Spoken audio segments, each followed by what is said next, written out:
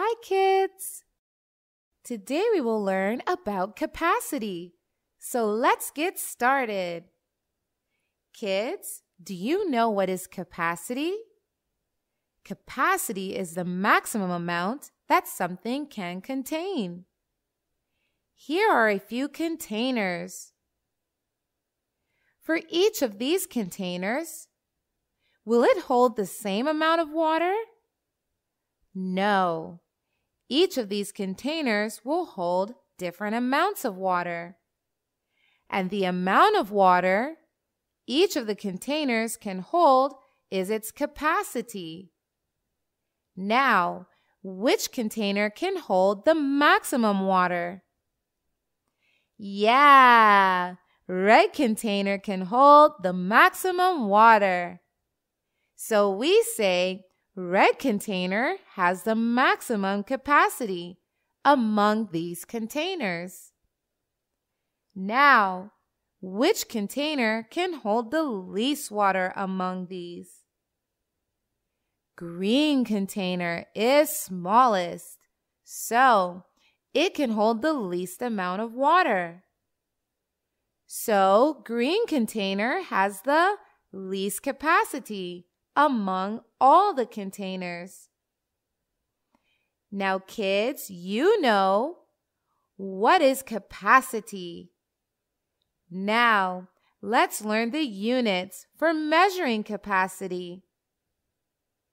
Capacity is measured in L or ml, where L is symbol for liter and ml is symbol for milliliter.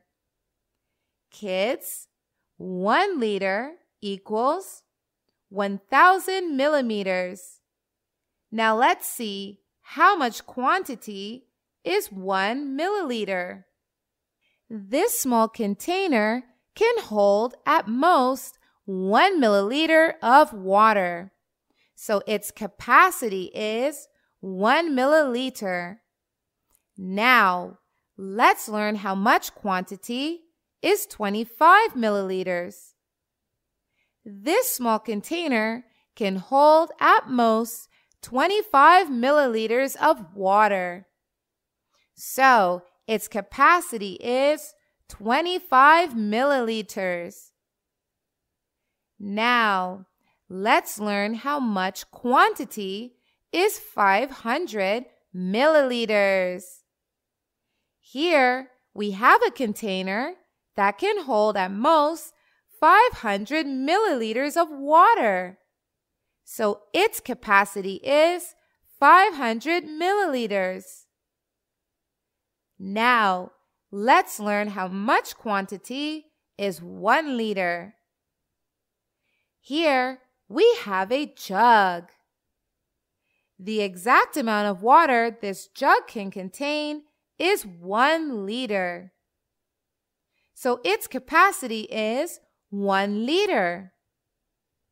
That is, it can contain one liter of water or any liquid. So, kids, now you have a fair idea what is capacity and the units for measuring capacity. Now, let's move on to some questions. One liter is how many milliliters? It is 1000 milliliters. Two liter is how many milliliters? 1000 milliliters plus 1000 milliliters equals 2000 milliliters. Three liters is how many milliliters? It is 1000 milliliters plus 1000 milliliters plus 1000 milliliters.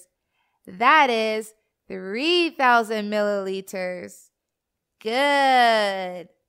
Now, 500 milliliters plus 500 milliliters makes how many liters? It is one liter. As 500 milliliters plus 500 milliliters is 1,000 milliliters. Now, 250 milliliters plus 250 milliliters plus 500 milliliters is how many liters? It is again one liter, as it adds up to 1,000 milliliters. Now, 3,000 milliliters is how many liters? It is 3 liters. Good. Here we have a jug whose capacity is 1 liter. And we also have a bucket whose capacity is 4 liters. Then, how many jugs are required to fill the bucket completely? One jug will contain 1 liter of water. So, four jugs will make 4 liters of water. So we need 4 jugs of water to completely fill the bucket. Let's move on to the next question. Capacity of one tumbler is 500 milliliters. And capacity of this jug is 1 liter. Then how many tumblers of water are required to fill this jug? One tumbler contains 500 milliliters. Two tumblers will contain 500 milliliters plus 500 milliliters equals 1,000 milliliters or 1 liter.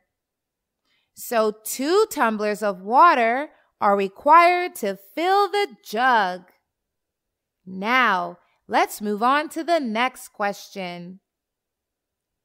One jug holds one liter of water. We can pour four jugs of water in a bucket. Then, what is the capacity of the bucket? Let's solve this question.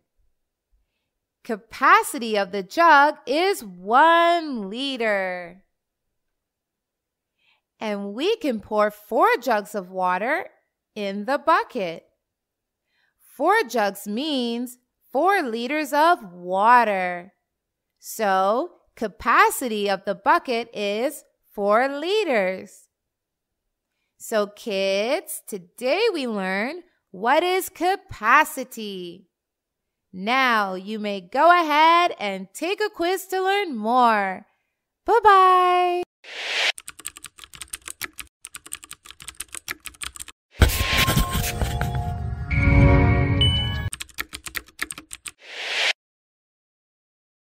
Tutway has thousands of animated videos on math, English, and science to clear the core basics of these subjects.